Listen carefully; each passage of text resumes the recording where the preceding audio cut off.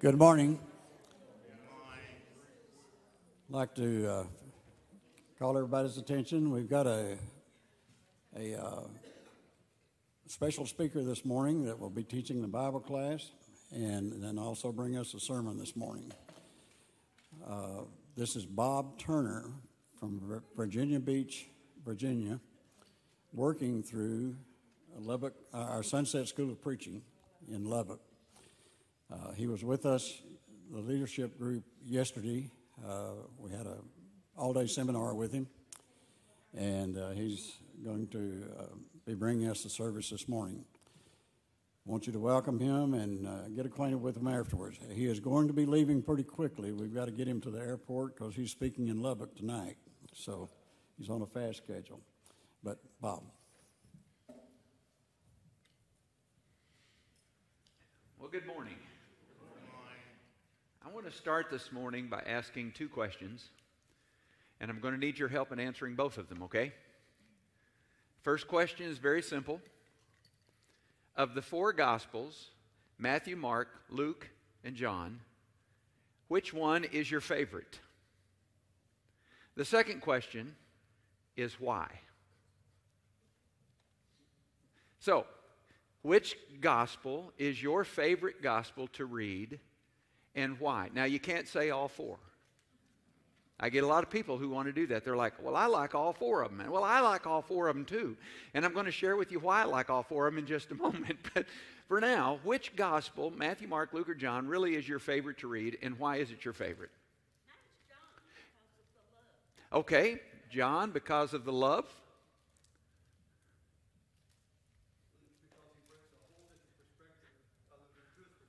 Ooh, Luke, because of the perspective. Now, don't tell me John is your favorite because your name is John. Which one? Saint Luke. Why? Why Luke?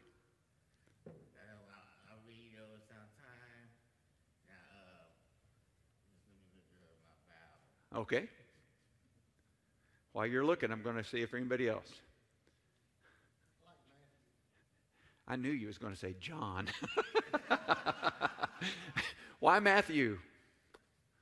Matthew uh, really gave such a great scope of everything, especially from the Jewish and Old Testament perspective. I mean, they all did, but Matthew just really detailed and spelled it out from a Jewish perspective. Okay, very good. Matthew's Jewish perspective. I like that. Who else? What's your favorite gospel? Why? Yes.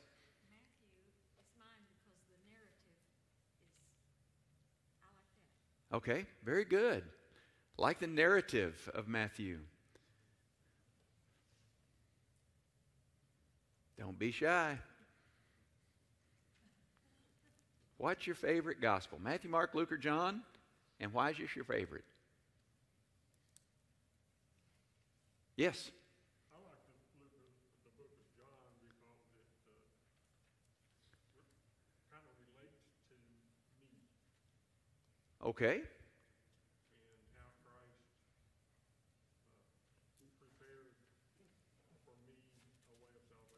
Ah, very good, John, because you relate. It relates to you. Preparing a way of salvation. Like that. Very good.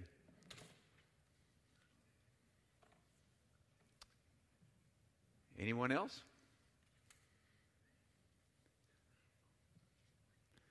Yes. I like Luke because it's just, uh, like they said, it's not a perspective that everybody has that wrote the other 3 Mm-hmm. And he put a whole bunch of work into talking to other people. Yeah, the investigation the stuff. investigation and really making sure that what he was writing and what he was be able to come up with, even though it's inspired by God, he wanted to make sure he had all his bases covered. Yeah, very good. You know, it's funny. I, I rarely get this many Lukes. When I ask that question, it's pretty rare I get that many people who say they like Luke, but I love the perspective y'all are coming up with. Anyone else? What's your favorite gospel? And Why is it your favorite? I asked this question one time to a small group I was studying with, and they said, one guy in the group said, Isaiah. I said, that's not an option. Isaiah's not on the list. Matthew, Mark, Luke, or John.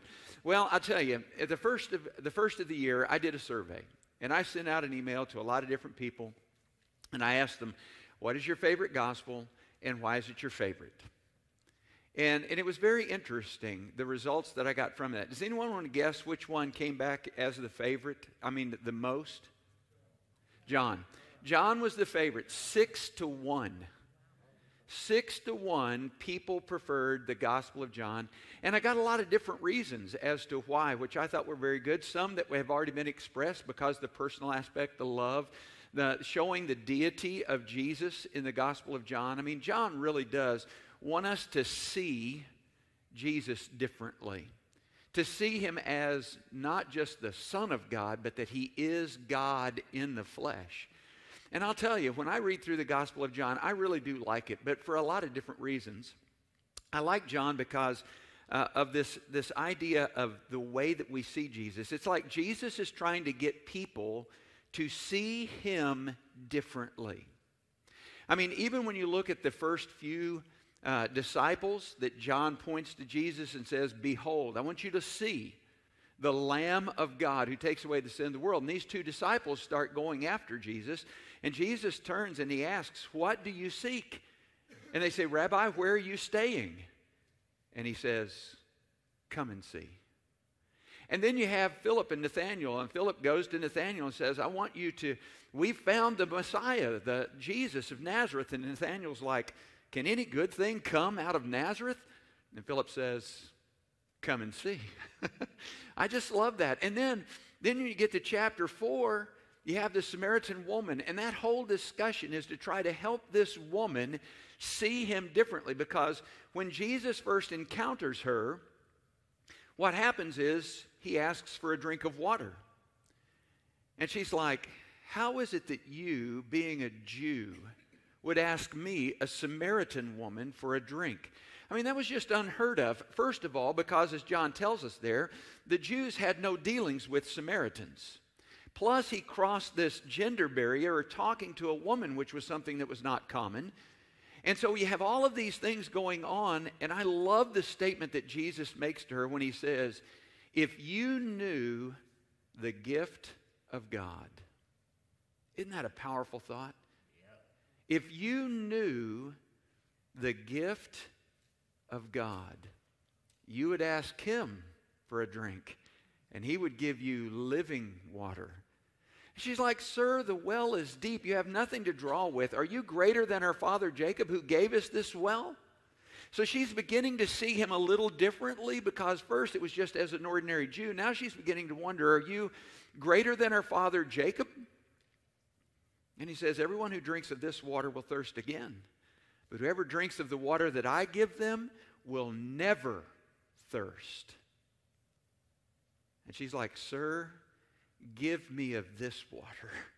I mean, wouldn't you be the same way? I know I would. I'd be like, yes, I want that water so that I can drink from that and never be thirsty again. If you knew how much water I literally drink every day, you could understand why I would love that. And he says, Go call your husband. Wouldn't you love to have seen her face when she says, I have no husband, and Jesus said, You're right, you've had five husbands, and the one you're with now is not your husband. Can you imagine the look on her face? But notice how she's beginning to see him differently because now she says, Sir, I perceive you are a prophet. So they get into this discussion about worship, which we tend to focus on a great deal.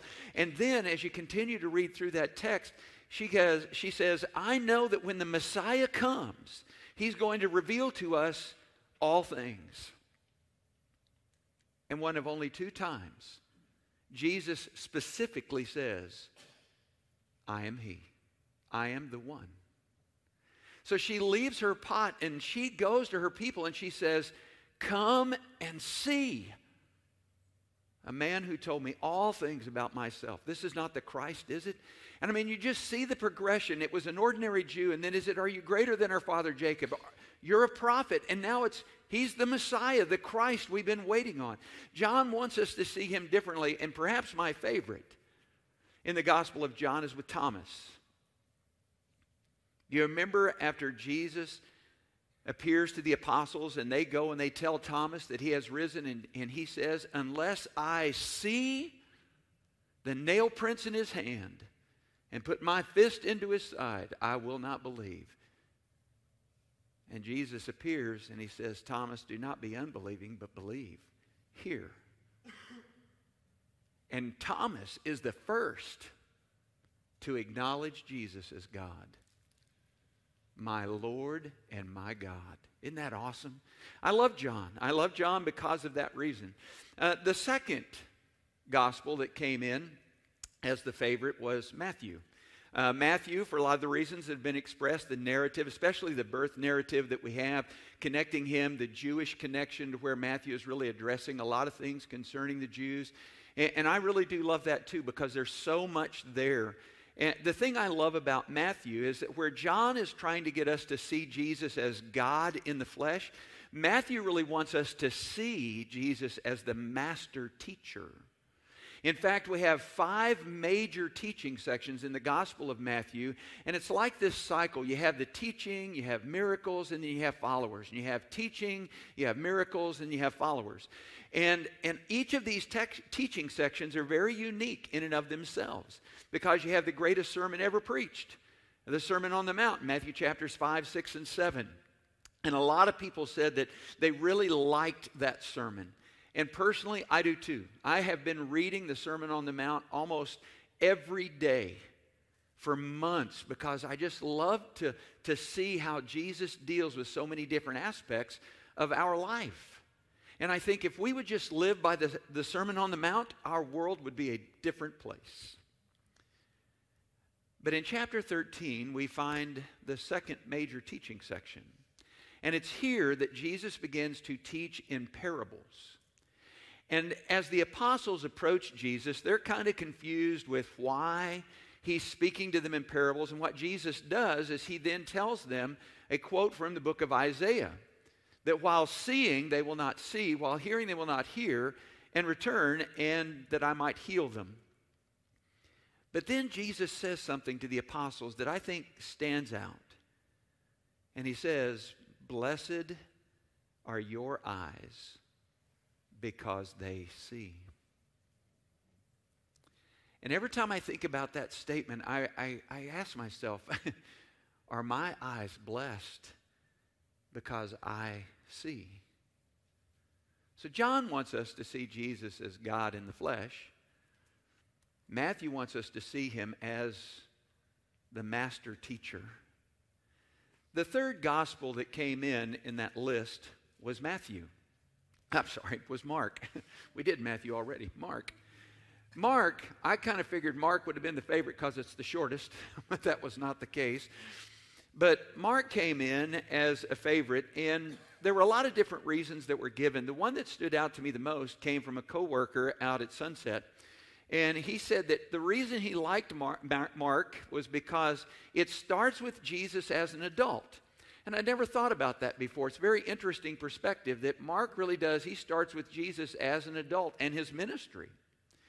And what's interesting about that is when you read through the Gospel of Mark, you're going to see that Mark really does try to help us see that Jesus is superior, that he is above Caesar, he's greater than Caesar as Lord. But there's something very interesting about the Gospel of Mark that Mark wants us to recognize when it comes to Jesus, and that is to see him as the miracle worker. I love the Gospel of Mark because it's perfectly divided in half. In the first eight chapters, you have all of these miracles. And Mark wants us to see Jesus doing these miracles, and there's a key word that's used, and that is immediately. When Jesus did miracles, it didn't take six months for somebody to get well. I mean, it was immediately. In the last half of the book, we only have three miracles, and one of those is the resurrection. So I began to ask, why, what is it that takes place? Why does Mark record for us in the first half of this book all of these miracles, and in the last half, there's a different focus here. What, what takes place to make this shift? So I began to look at chapter 8. And it's a very interesting chapter because you have Jesus feeding the 4,000, and then you have this discussion with the Pharisees. And then Jesus gets in a, boat with the apostles and he tells them, Beware of the leaven of the Pharisees. And the, the apostles are like, is it because we forgot to bring food? They're concerned as they didn't take food with them on the way, and Jesus is trying to help them understand and, and to see things a bit differently. And then, when they get out of the boat, Jesus takes a man who is blind and he takes him outside the city and he spits on his eyes and he touches him and he asks, What do you see? And he says, I, I see men walking around like trees. And Jesus touches him again and the text says that then he began to see everything clearly. And I thought, is it because Jesus didn't have the power to heal him completely the first time? What's going on here? and then it dawned on me that what, what's taking place is you have this, this challenge on the part of the apostles. They're not seeing things clearly. And that's what Jesus is trying to help them recognize is that they are not seeing him clearly. Because immediately after he heals this blind man, he asks them, Who do men say that I am? Some say you're John the Baptist or Elijah, Jeremiah, one of the prophets. But then Jesus asks, Who do you say that I am? And Peter says, You're the Christ of God. Immediately after this point, once Peter acknowledges that they believe that he is the Christ, Jesus then turns his attention away from the miracles and now he begins to teach them I'm going to Jerusalem, I'm going to suffer, and I'm going to die, and I'll be raised on the third day. That's the major turning point in the ministry of Jesus. And Mark helps us to see Jesus as this miracle worker, but also to recognize and to see that he has a purpose in going to Jerusalem. He's going to die and he's going to be raised from the dead. And I think that's significant. Now, while Luke seemed to be one of the favorites here, at least among those who spoke up, Luke was the one that was recorded as the fourth favorite of the Gospels in my survey. And I read Luke over and over and over many, many times to try to kind of get some perspective because one of the things that stood out to me about Luke, as was mentioned earlier, was this idea that he really does write from a different perspective. He's really investigating and researching the information and he wants to find out all this stuff. And as I began to read Luke more and more and more, I found some things that are very unique to the Gospel of Luke that you don't find in any other Gospels. Now, I realize that all of them have some unique features to them. But Luke, to me, records for us some of the most unique things about Jesus that we don't have in any other Gospel. But what I noticed that really baffled me when I looked at the Gospel of Luke is that it begins and it ends with doubt. Isn't that interesting? In the very first chapter, you have all this discussion about the birth of John the Baptist. And Zacharias, his father, goes into the temple, and my, or Gabriel, the archangel, appears to him and says, Your prayers have been heard, and your wife is going to bear a son, and you will call him John. And Zacharias doubts. And as a result, he's not going to be able to speak until after John is born and he names him. And you know how that account goes. In the very end of the gospel, in chapter 24, after Jesus has been raised from the dead and the apostles have been told that he's been raised from the dead, they don't believe it. In fact, when Jesus does appear to them, he asks them, Why does doubt fill your hearts? So the gospel begins and it ends with this concept of doubt, and everywhere in between, because of the research and the investigation that Luke does, he's going to record for us everything about the life of Jesus so that it will remove all doubt. And I love that. And when you look at the Gospel of Luke, some of the most beautiful things that take place begin with the birth of Jesus. Because here you find that Mary and Joseph are going to take him to the temple to circumcise him. And there we're going to learn about Simeon. And Simeon, when he sees Jesus, he's going to pray to the Lord and he's going to say, Let your bondservant depart in peace, for my eyes have seen the salvation of the Lord. Isn't that a powerful thought? Because where they had doubt, both on the beginning and the end of this gospel, because even though they could see it, they doubted. Simeon says, My eyes have seen the salvation of the Lord. And then some of the other unique accounts that we find throughout the Gospel of Luke involve either the way that we see Jesus or the way that we see others because of Jesus. I think about when Jesus went to the home of the Pharisee, Simon. Do you remember what takes place? There's a woman who has less than a good reputation, and she comes and she begins to weep, wetting the feet of Jesus with her tears and wiping his feet with the hair from her head. And do you remember what Simon is thinking? If this man were a prophet, he would know what kind of woman this is and wouldn't allow her to touch him. You see, he was looking through a different set of eyes. But Jesus then points out to Simon something that he had never considered. Because Jesus looked at this woman differently. And it makes me wonder how do we look at people today? When we see people that are of less than a good reputation, how do we see them?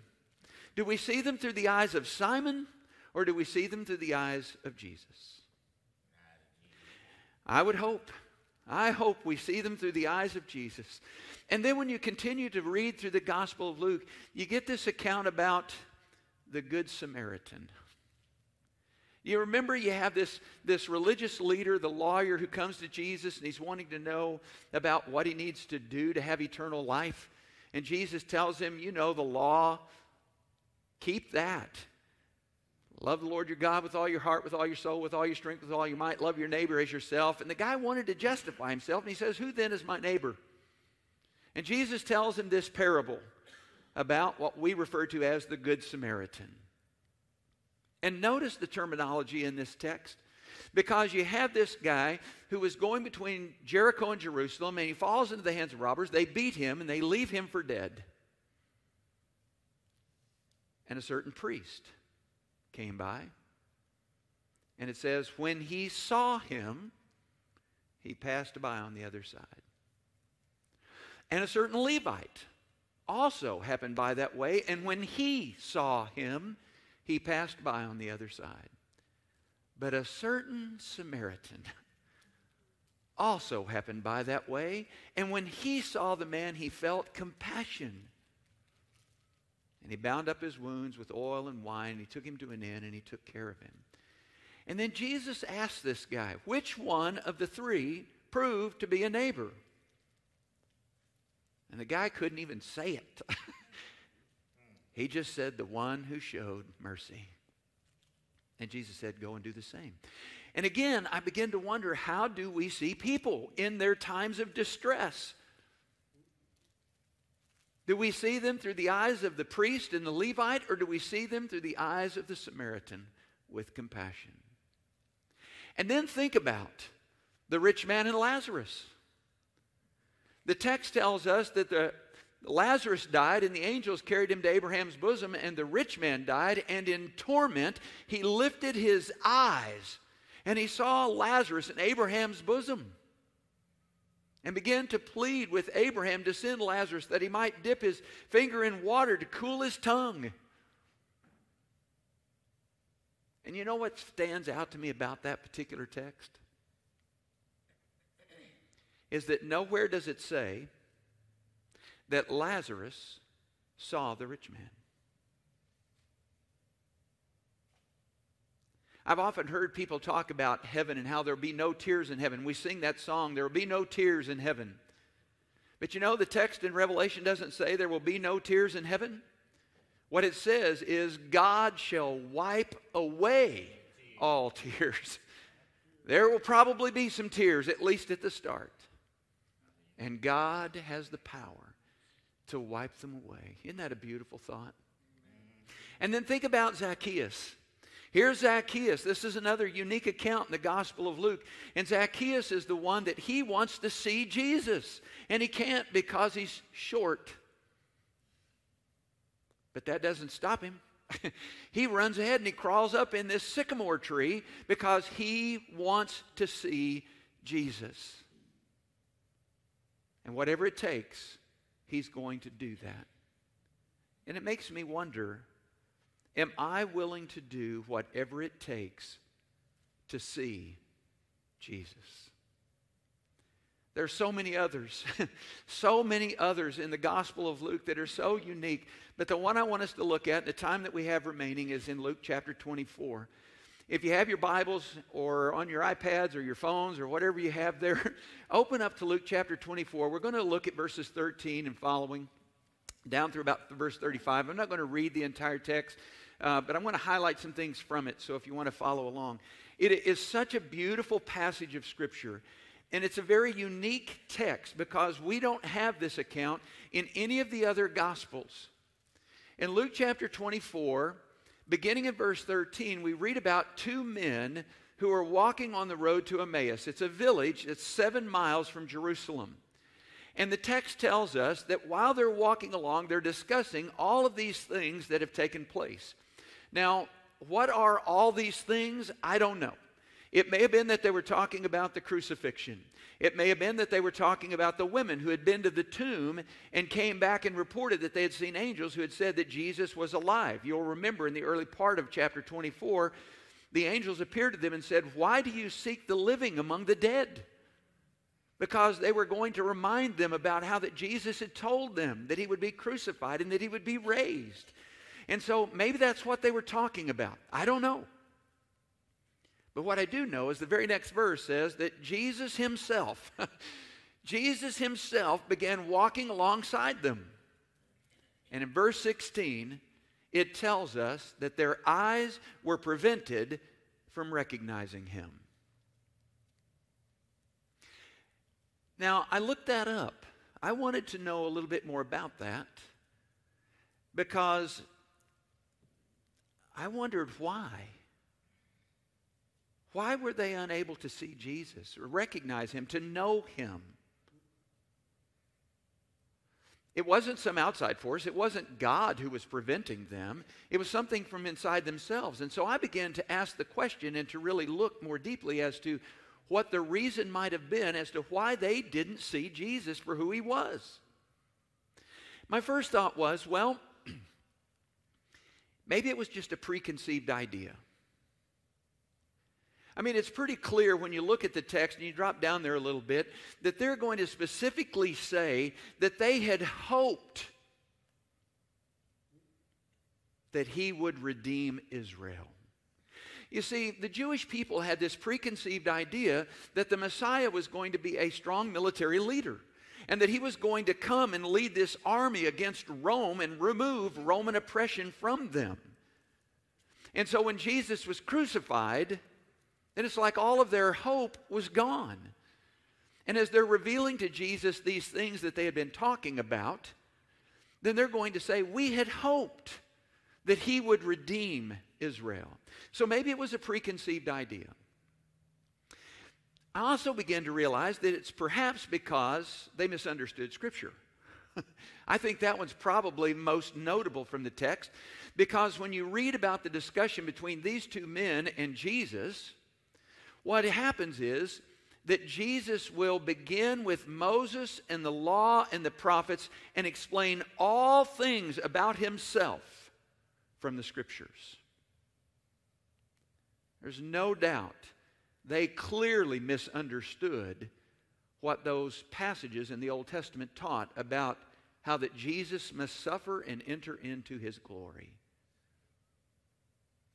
And then I thought, maybe it was just uh, it was counterintuitive. You know, it just didn't make sense to them. And I think that's clear as well when you back up really in verses 11 and 12 there, because the women are going to come and they're going to report to the apostles that Jesus is raised from the dead. They, that the angels had reported to them that he had been raised from the dead. And the text says that the apostles refused to believe it because it seemed as nonsense to them. That just didn't make sense that someone would be raised from the dead. And so they refused to believe it.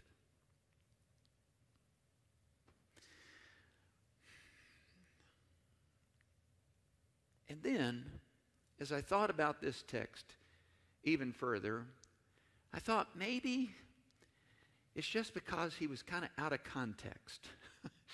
you ever have that kind of thing happen to you? That you look at somebody and you're like, no, I don't recognize you. But it's just out of context. I, I was at the Freed Hardeman lectureship in February this year. And I was walking over to the gym because we had a booth set up there for the, the SALT program. And as I walked up to the door, I'd kind of noticed peripherally that there was a couple that was walking up behind me. And I thought, well, I'm going to do the nice thing. I'll hold the door. And so I opened the door up, and he walked right on through. and she stopped. and she looked at me. I looked at her. She goes, Do you not know me? and I got, I, I mean, the minute she said that, I recognized her. I'd known her for years.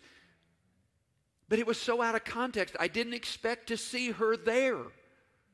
And I thought maybe, maybe that's what was happening with these two men. I mean, the last time they saw Jesus, he was on a cross, he had been crucified. And maybe they didn't recognize him because it was just kind of out of context, you know? I don't know. Maybe it's all of those reasons combined. But then I began to realize why do people not see Jesus today? I mean, do people not see Jesus today because they have preconceived ideas? I, I know of people that really, they, they became a Christian because they thought that by becoming a Christian, somehow, that God or Jesus was going to take care of all of their marital problems and that by being a Christian, he would remove their financial struggles, or that he would heal them of their physical infirmities. And then when that didn't happen in their life, they gave up on Jesus because they had this preconceived idea as to what Jesus was going to do in their life. And so they were prevented really from seeing him because of that. And then I began to think, well, is it possible that people don't see Jesus today because they misunderstand Scripture? That's a big yes. I think there are a lot of people in our world who don't understand Scripture. And because they don't understand what's written in God's Word, they fail to see Jesus. Whether they're seeing him as God in the flesh, or seeing him as the master teacher, or seeing him as the miracle worker, or just seeing Jesus in the way that Luke records for us. And then I thought, well, maybe it's counterintuitive. Maybe people don't see Jesus today because it just doesn't make sense. I mean, there are a lot of people that when it comes to this idea of Jesus being God, going to the cross, suffering, and being crucified, that doesn't make sense. And then being raised from the dead, why would God go to the cross and die?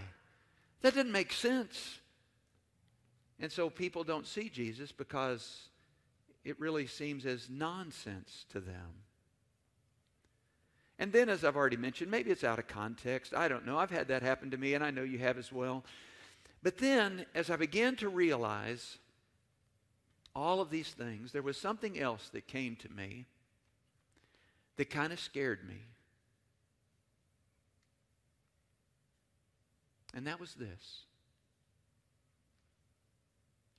Do people not see Jesus today? Because of me.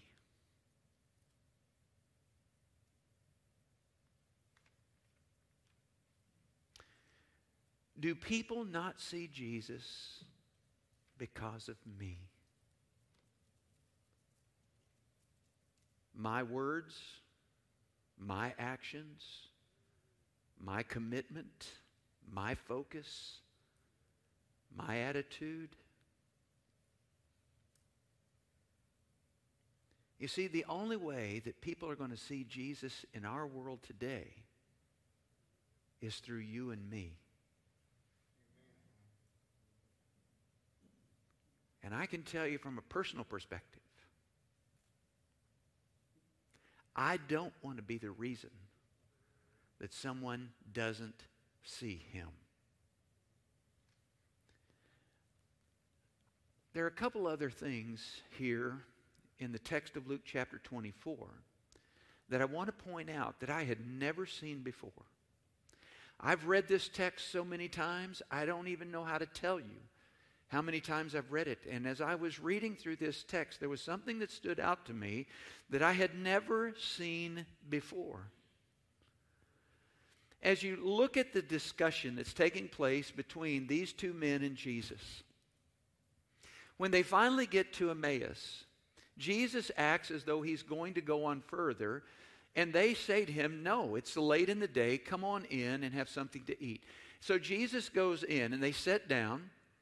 And he takes bread and he breaks it and he begins to give it to them. And the text then says, Then their eyes were opened and they recognized him and he vanished from their sight. And they looked at each other and they said, Were our hearts not burning within us when he was explaining the scriptures to us on the road? And they got up that moment and they went back to Jerusalem. And they found the eleven, and they said to them, Jesus really has risen from the dead, and he's appeared to Peter. And they explained to him, explained to the eleven, the things that happened on the road and how that they recognized Jesus in the breaking of the bread. Two thoughts that I want to share with you that to me are the most significant from this entire text.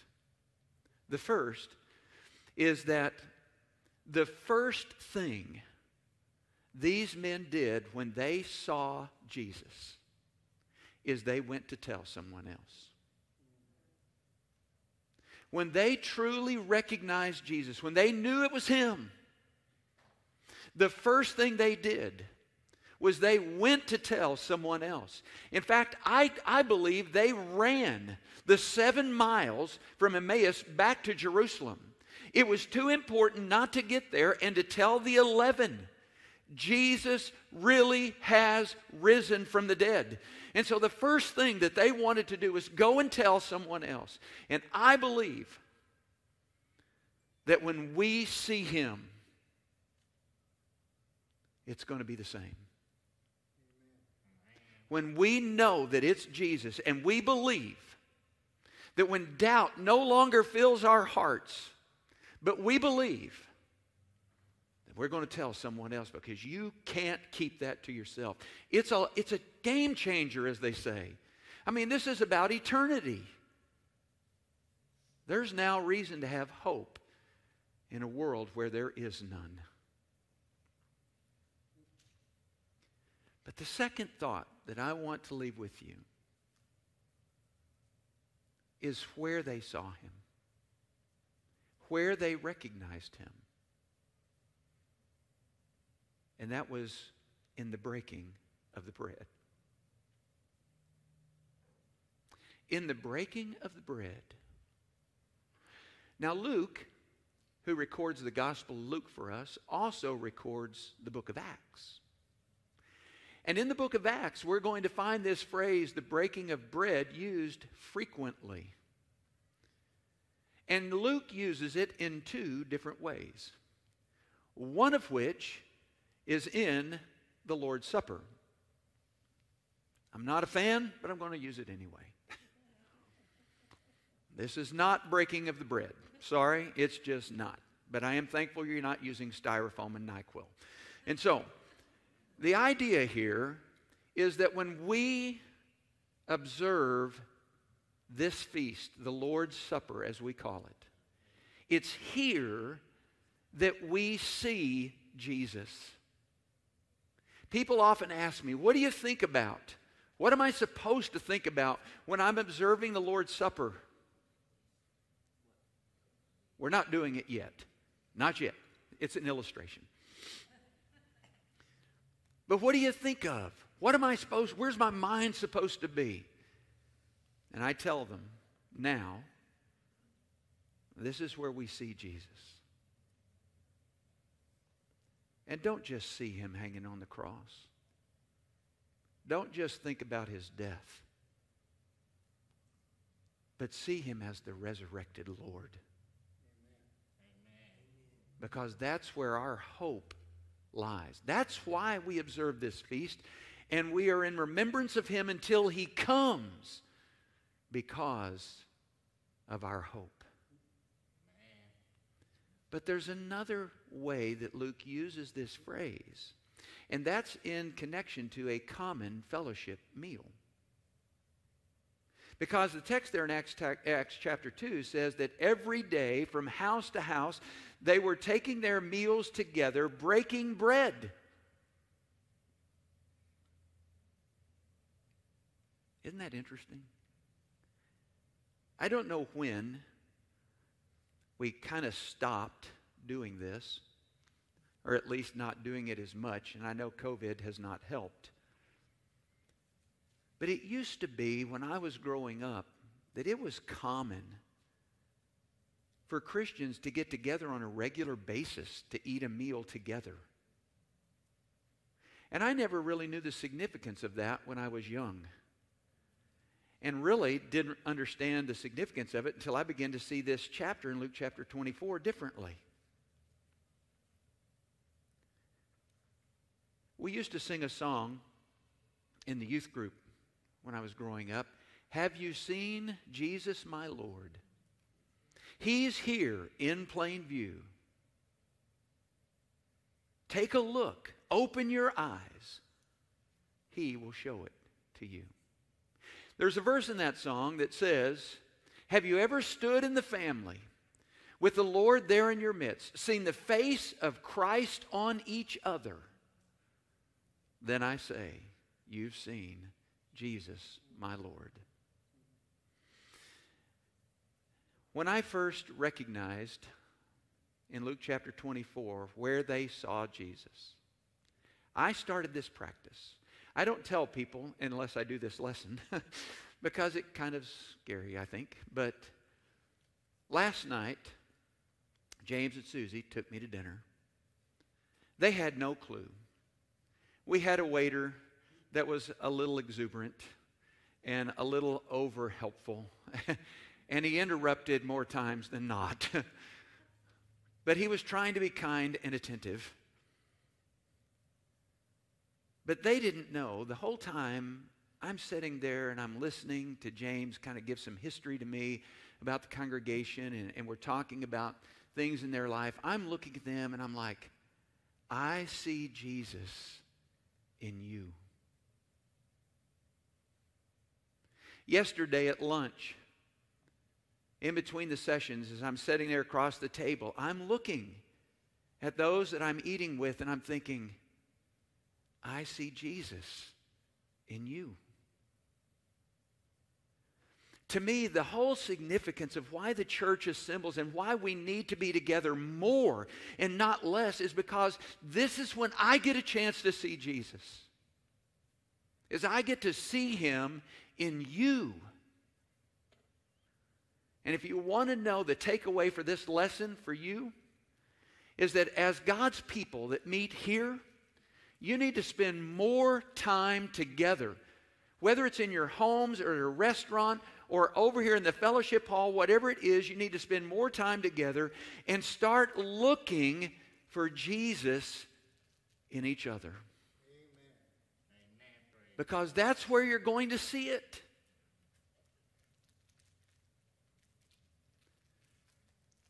I love all four Gospels. And there are a lot of reasons why. I love John because John wants us to see Jesus differently. He wants us to see Jesus as God in the flesh. I love Matthew because I like to think about this concept of blessed are your eyes because they see. I may not always understand, but I like thinking that my eyes are blessed because they see. And I love Mark because I get a chance to see Jesus not just as God and not just as the master teacher, but I get to see him as the one who has the power to do anything. Especially giving sight to the blind so that he might see more clearly. And I want to think do I see clearly? But Luke really has probably become my favorite of the four. And maybe as you read the Gospels in the future, you will read them differently. And that maybe you will see things a little differently as you read through them, especially as you read Luke. And I hope that as you read it, especially as you get to chapter 24, that you'll begin to recognize the importance of making sure that other people, not just our brothers and sisters in Christ, but people in the world, have a chance to see Jesus differently because of you. And that by your words, by your attitudes, by your actions, the where you go, the things you participate in, and who you are, the people will see Jesus. And maybe that's going to be because that when you look at people, you're looking not through the eyes of Simon the Pharisee, but through the eyes of Jesus. And you're not looking through the eyes of the priest or the Levite, but you're looking through the eyes of the Good Samaritan. Or maybe you're like Simeon and you have the opportunity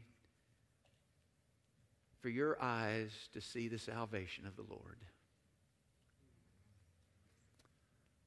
But if you do nothing else, I hope that beginning today and from this day forward, that you're going to make a concerted effort to spend more time in a fellowship meal with a brother and sister in Christ so that maybe you'll be able to see Jesus in them and that they can see Jesus in you. Thank you so much for your attention. I'm looking forward to preaching the lesson this morning. Hopefully, after the lesson, you're going to see God a little differently. but I'm thankful for the privilege of being here. It's been such a blessing to me. And I'm very thankful for the hospitality and just the encouragement that you provided. And I look forward to our time in worship together.